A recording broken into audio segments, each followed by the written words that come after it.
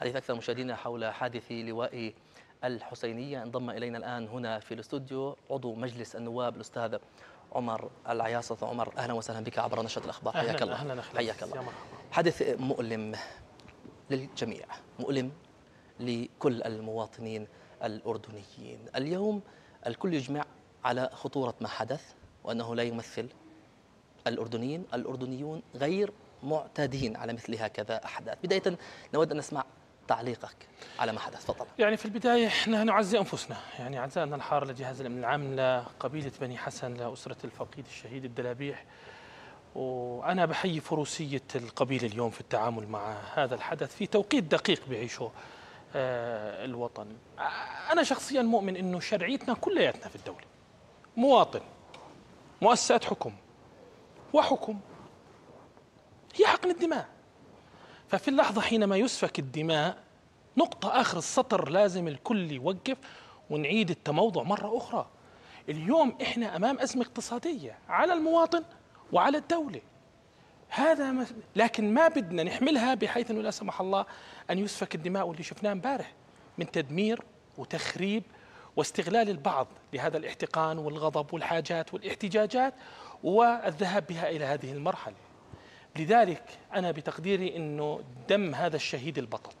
الله يرحمه ويتقبله. وخسارة وفاجعة كبيرة مناسبة جدا حتى في الكل مرة أخرى يعيد حساباته. كلنا نقعد مع أنفسنا ونعيد النظر في ذلك. أنا من الناس اللي بقول هذه الدولة قائمة وستبقى وستستمر بمنطق حقن الدماء. إحنا ما بنقتل بعضنا. إحنا ما بنقتل بعضنا بحال من الأحوال. ربيع عربي بدأ من 2011 سبع ست سنوات ما انكسرش مصباح كهرباء اليوم البعض استغل البعض نفخ في الغضب البعض حاول انه يحمل الاحتقان البعض حاول ان يستثمر ذلك وهذا البعض موجود ومشكل وبعضه عاقل وبعضه مش عاقل وبعضه كان عاقل ووصلنا إلى هذه النتيجه التي لا يحمد يعني عقباها والحمد لله رب العالمين انه كانت يعني في النهايه خلينا نسميها الدم دم الشهيد البطل هذا عقلنا جميعا وجعلنا نعد للعشره مرة أخرى مؤسف ما جرى ولكن مرة أخرى بأكد لك وبأكد لكل الأردنيين بنختلف إحنا بنتفق بنروح من المعارضة للموالاة وبننتقل من الموالاة للمعارضة وبنعمل إضراب وبننزل على الشارع وبنمشي مسيرة. هذه تاريخية الدولة الأردنية من الواحد وعشرين. لكن نقتل بعضنا أن نوجه الرصاص المباشر لصدور آه، الأجهزة التنفيذية الأجهزة الأمنية. هذا غير مسبوق. وبالتالي ما جرى بالأمس أنا باعتقادي نقطة انعطافة مرة أخرى. آه، أعتقد أنها ستفيدنا جميعا في التعامل مرة أخرى مع كل أزماتنا القادمة. لأنه إحنا أزمتنا الاقتصادية مش راح تنتهي وراح تستمر وراح نشوف إضراب قطاع هون وإضراب قطاع هنا اتركوا القطاع يتصارع مع السلطة التنفيذية أخي. ليش تعمل له حامل سياسي وحامل طيب. آه محلي؟ لماذا؟ يعني هذا كلها أسئلة يعني مهمة أنت تحدثت عن البعض أستاذ عمر. الآن آه. ما مطلوب من الكل لتجاوز واحتواء مجتمعيا ما حدث في لواء الحسينية. فضل. لا المطلوب من الكل اليوم أن يدرك أننا لا نستطيع أن نقتتل مع بعض. لا نستطيع أن نستخدم الرصاص.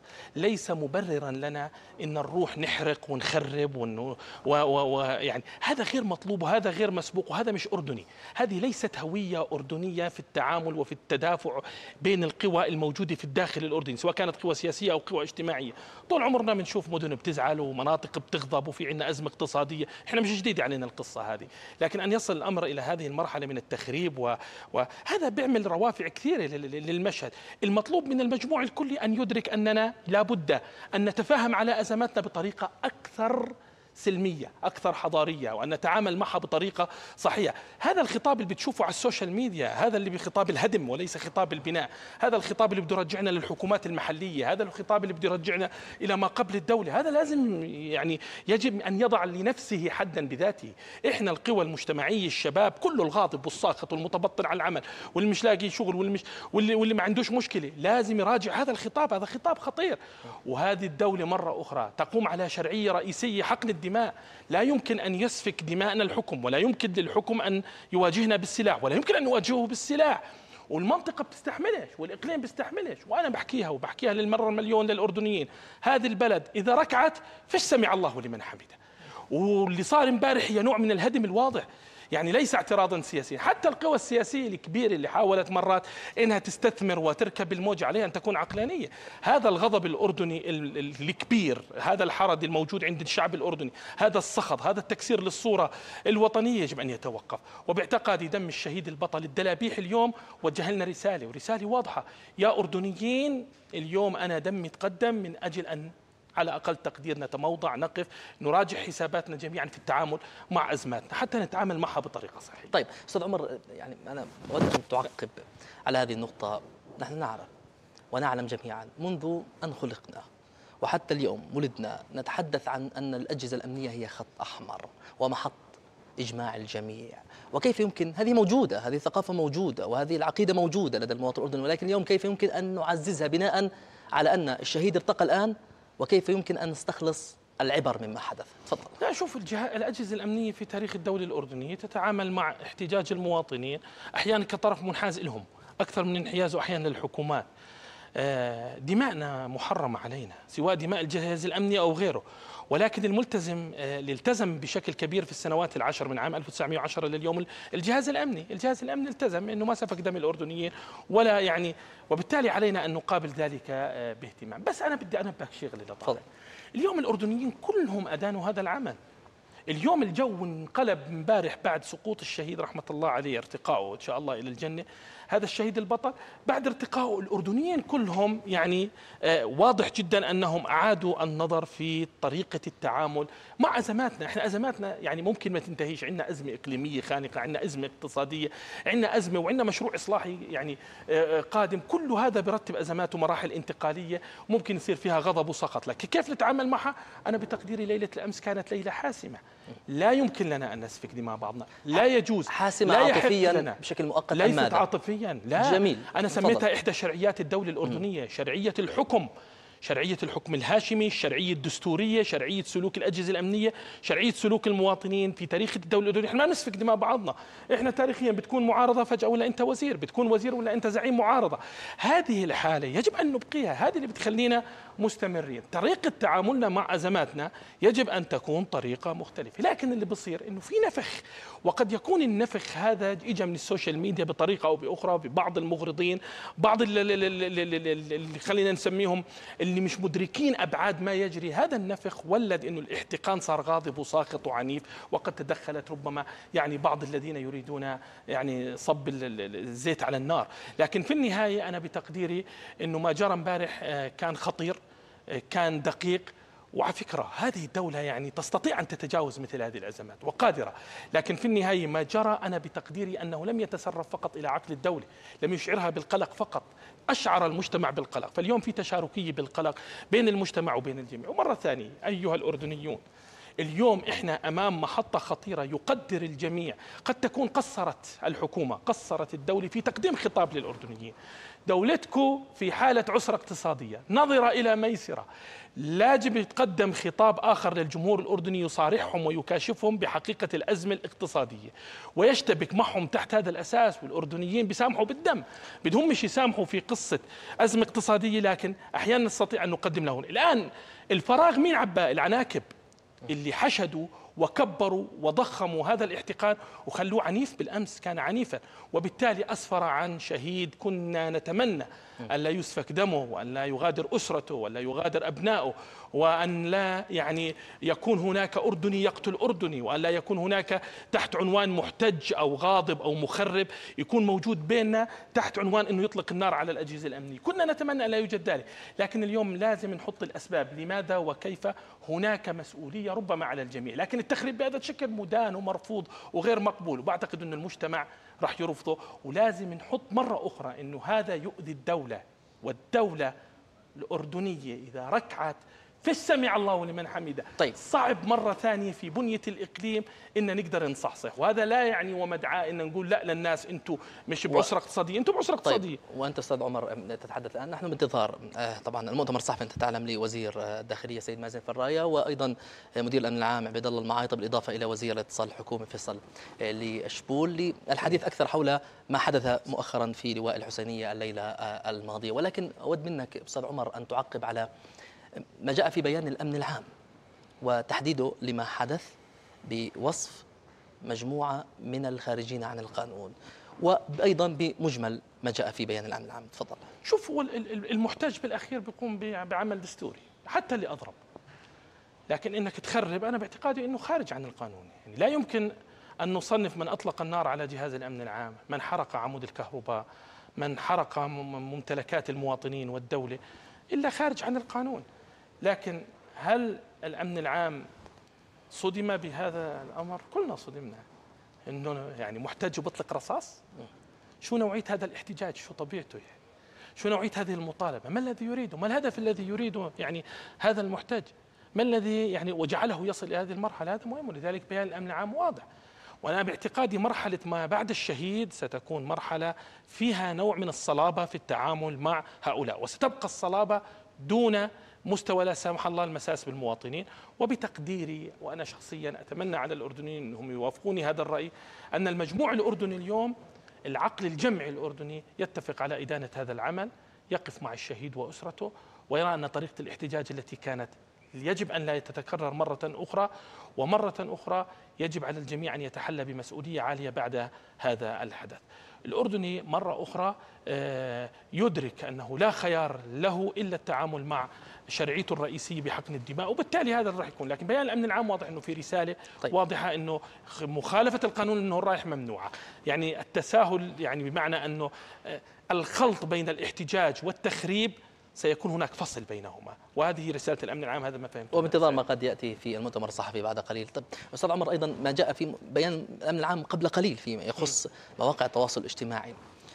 وقف أو حظر التيك توك مؤقتا في المملكة لأنه تم إساءة استخدامه بل بالعكس نشر فيديوهات تحريضية من كما جاء في بيان الأمن العام من دول أخرى وإسقاطها آه، على الأردن. هذه نقطة في غاية الأهمية. عندما نتحدث عن وعي مجتمعي عن التزام مجتمعي نحو هذه الأحداث والقفز عليها يجب أن يكون هنالك ويترخص ذلك أقصد في مواقع التواصل الاجتماعي وما لها من دور كبير في عملية التحريض.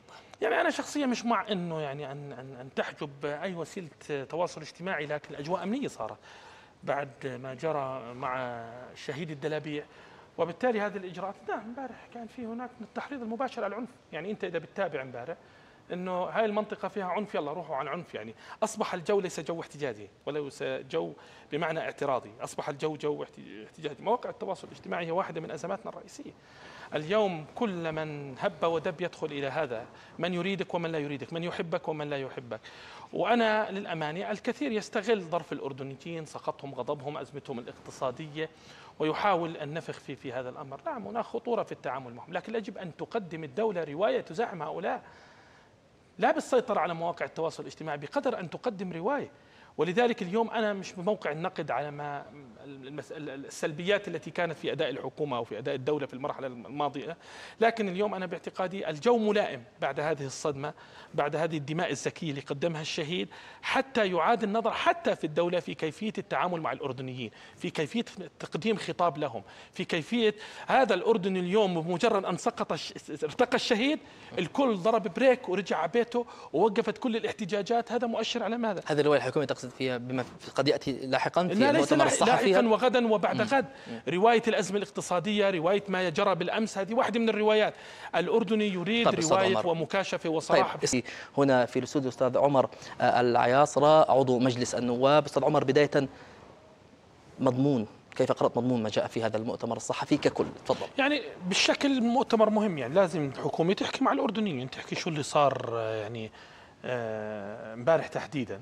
وباعتقادي إذا بدي أفصل المضمون جزء من المضمون تحدث عن الإجراءات الأمنية وصف ما جرى بالأمس من تجاوزات آه وتخريب ثم تحدث عن إجراءات أمنية أنا بعتقد إنها طبيعية غير مبالغ فيها. قصة إنه اليوم خلص ما فيش تجاوزات أمنية ما فيش واحد يقطع الطريق ما فيش واحد آه، يمنع الشاحنات تمر ما فيش آه، عنف ما فيش السماء. يعني كل اللي شفناه من تخريب هذا سيتوقف. واضح إنه رسالة حزمة لكن أكثر شيء لفت نظري في هذا المؤتمر الصحفي أداء وزير الداخلية. اليوم وزير الداخلية تحدث مع الأردنيين ببساطة وطلع بيشبههم بيشبه كل الأردنيين وبيحكي معهم عن الأزمة الاقتصادية كنا نتمنى أن نسمع هذا الخطاب من الفريق الاقتصادي قبل ذلك هل تحققت المكاشفة التي كان يطالب بها المواطن جزء الأردني؟ من المكاشفة اليوم تحقق نعم. اليوم جزء من المكاشفة تحقق وعلى فكرة أن تصل متأخرة خيرا من أن لا تصل. وهذا مدعاة مرة أخرى أنه الفريق الاقتصادي والحكومة والرئيس يحكي مع المواطنين الأردنيين بذات الطريقة بذات التبسيط. وين أزمتك الاقتصادية؟ وإن أنت إن إنك أنت كنت منهم. فاليوم كان يعني أخونا آه، معالي الوزير موفق. للأمانة بأنه تحدث عن الأزمة الاقتصادية رغم أنه وزير داخلية ومش اختصاصه لكن اليوم تحدث بطريقة واضحة وبسيطة وأشعر الجميع أن الدولة في أزمة اقتصادية وأن المواطن في أزمة اقتصادية وأننا لسنا يعني هو يتحدث عن عن الحكومة والدولة ليست مجرد جلاد يجلد هؤلاء. وجاء بمصطلح ما بقدر وما بدي في فرق بينهن. أنا ما بقدر بس أنا بدي. بالنهاية هذا الخطاب بيقتنع فيه الأردنيين أو بيقتنعيش على أقل تقدير يعبئ بعض الفراغ اللي بيملؤوه الآخرين.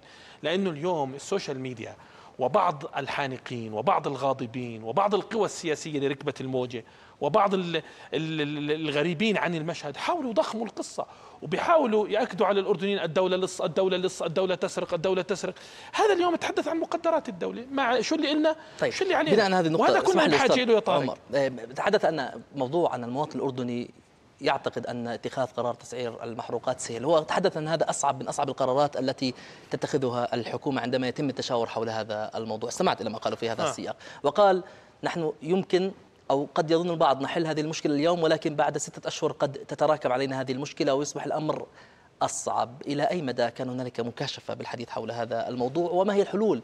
إذا كانت هذه المشكلة إذا حلت اليوم سوف تتراكم غدا تشريعيا أو حتى تنفيذيا. يعني في الإطار العام هو كشفهم. يعني قال إنه في أزمة واليوم أنا بقدرش اللي أرفع سعر المحروقات عندي إيرادات ونفقات والفرق بين الإيرادات والنفقات 2 مليار وهذول عجزوا بدي أدين حكى بهذه الطريقة لكن لو حكاها متخصص اقتصادي بذات الأسلوب والطريقة في الفريق الحكومي الأردنيين راح يفهموها أكثر والأردنيين بدي أحكي لك عنهم شغلة.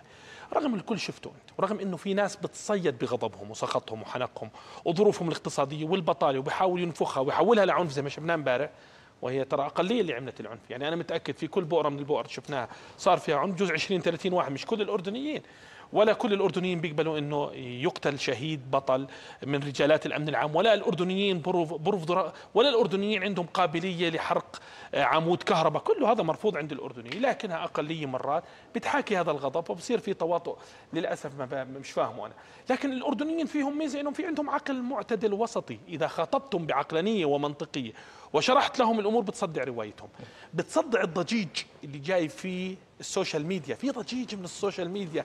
هذه الدولة واحد اثنين ثلاثة. كل من يدخلها لص كل من يدخلها سارق كل من يدخلها فاسد. هذه الدولة متواطئة. هذه الدولة يعني سادية بدها تعذبنا. هذه الحكومة بدها تعذبنا. بغض النظر الآن عن سلوك الحكومة التقييم الإداري هذه مسألة ثانية قد الحكومة فيها أخطاء فيها. لكن هذا الضخ اللي بيجي على وعي المواطن الأردني. كأنه انطباع دائم. لا بشكل عنده انطباعات شبه دائمة وأصبحت أقرب إلى المقاربات. أنه بدأ بعض الناس يحكوا نحن والآخر الآخر هو الدولة.